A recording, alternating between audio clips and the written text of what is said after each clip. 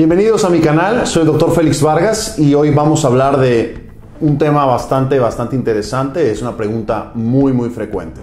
No la hemos hecho todos los hombres y se lo hacen algunas mujeres. Es cuánto debe durar un hombre en la cama. Y esto está lleno de tabús, lleno de creencias falsas y algunas creencias pues, que, que les falta respaldo científico.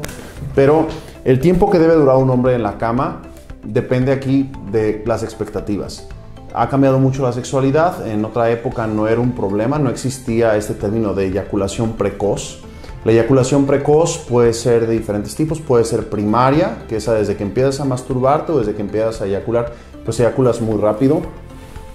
Y la eyaculación precoz secundaria empieza en algún momento, alguna situación en tu vida hace que empieces a tener este problema. Entonces, la eyaculación precoz suele considerarse menos de 3 minutos, eyacular en menos de 3 minutos. Te sorprenderá la situación o te sorprenderá esta estadística en la cual menos del 20% de los hombres, menos del 20-30% de los hombres eyaculan en más de 10 minutos. Mucho de esto eh, depende mucho de la situación. A veces cuando es la segunda o tercera relación sexual en la misma noche, pueden tardar un poquito más o se sensibiliza. Pero te sorprendería saber que más de 3 minutos se considera dentro de los, de los rangos normales.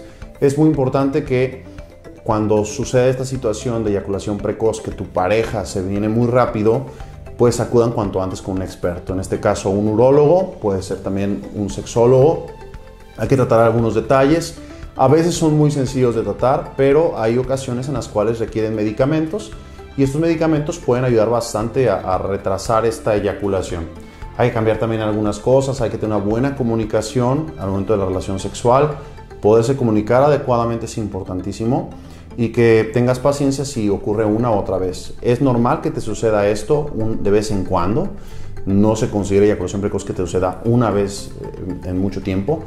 Pero si está sucediendo con mucha frecuencia, si está pasando demasiado seguido, definitivamente acude con un experto. No es tan difícil, pero definitivamente si te automedicas puedes tener efectos adversos bastante eh, difíciles o importantes. Aquí acudes con el experto, hace una valoración, determina qué tipo de eyaculación precoz tienes, te da algunos tips, hay algunos ejercicios para la eyaculación precoz que pueden mejorar tu desempeño sexual. Así que si duras menos de 3 minutos, puedes empezar con algunos ejercicios. No tienen tanto sustento eh, científico como algunos medicamentos, pero definitivamente los ejercicios te pueden ayudar. El que todos conocemos es el parar, seguir. Cuando estás en medio del clímax, antes de llegar al clímax, Tienes que detenerte, hablar con tu pareja, salirte, mantener la estimulación pero afuera para tratar de, agarrar unos minutitos más de relación sexual. Es difícil de dominar este, este ejercicio, es bastante difícil, eso es la razón por la cual fracasa en muchas ocasiones. Otro de los ejercicios lo llaman compresión del glande. El glande es la cabecita del pene. No lastimarte, simplemente comprimirlo gentilmente. Te sales eh, durante la relación, comprimes gentilmente esto da un poquito más tiempo para continuar la relación sexual.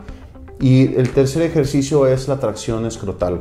Estás en medio de la relación sexual y el escroto es la piedecita que cubre los testículos. No te vayas a lastimar, no te jales con mucha fuerza. Es una tracción gentil antes de llegar al clímax. No te tardes demasiado porque si llegas al clímax y lo haces, pues de todas maneras vas a eyacular y no va a funcionar. Y por último, el último de los ejercicios es el, contraer el, elevador del ano, el músculo elevador del ano, cuando tú estás aguantando de hacer popó. Este es un músculo, este esfínter hay que estarlo ejercitando. Algunos le dicen ejercicio de Kegel, donde estás tú constantemente contrayéndolo. Se usa mucho en las incontinencias.